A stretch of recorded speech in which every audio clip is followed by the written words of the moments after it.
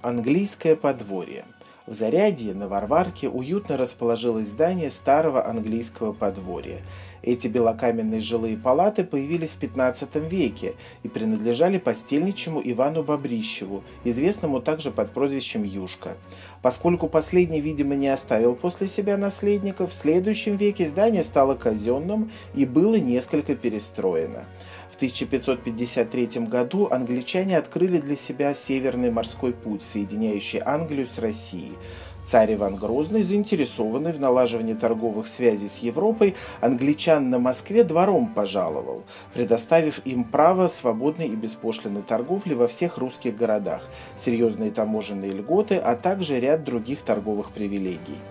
Такое положение вещей послужило основанием для создания в Лондоне торговой московской компании.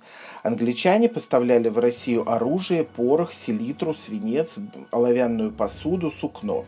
Взамен они вывозили древесину, пеньку, канаты, воск, кожи и меха.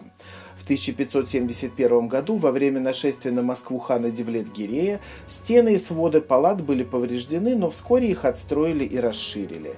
Как и многие купеческие дома той эпохи, здание сочетало парадные покои с обширными складскими и хозяйственными помещениями. На свое содержание английское посольство ежедневно получало четверть быка, 4 барана, 12 кур, 2 гуся, одного зайца или тетерева, 62 хлебных каравая, 50 яиц, четверть ведра средиземноморского вина, 3 четверти ведра пива, пол ведра водки и 2 ведра меда. Торговые отношения с Англией были разорваны в 1649 году, когда казнь Великобритании короля Карла I спровоцировала глубокий дипломатический кризис между Россией и Англией.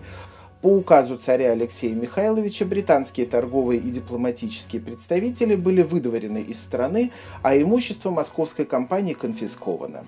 В начале XVIII века царь Петр I организовал здесь одну из первых в России арифметических школ. На протяжении 18-20 веков зданием владели представители различных купеческих фамилий. Различные владельцы постоянно перестраивали здание, и к середине 20 века палаты старого английского двора на Варварке окончательно потеряли свой изначальный вид и считались безвозвратно утраченными. 18 октября 1994 года состоялось торжественное открытие музея «Английское подворье», ставшего филиалом Музея истории Москвы. Ее Величество Королева Великобритании Елизавета II и ее супруг принц Филипп, пребывавшие в эти дни с официальным визитом в России, приняли личное участие в открытии музея.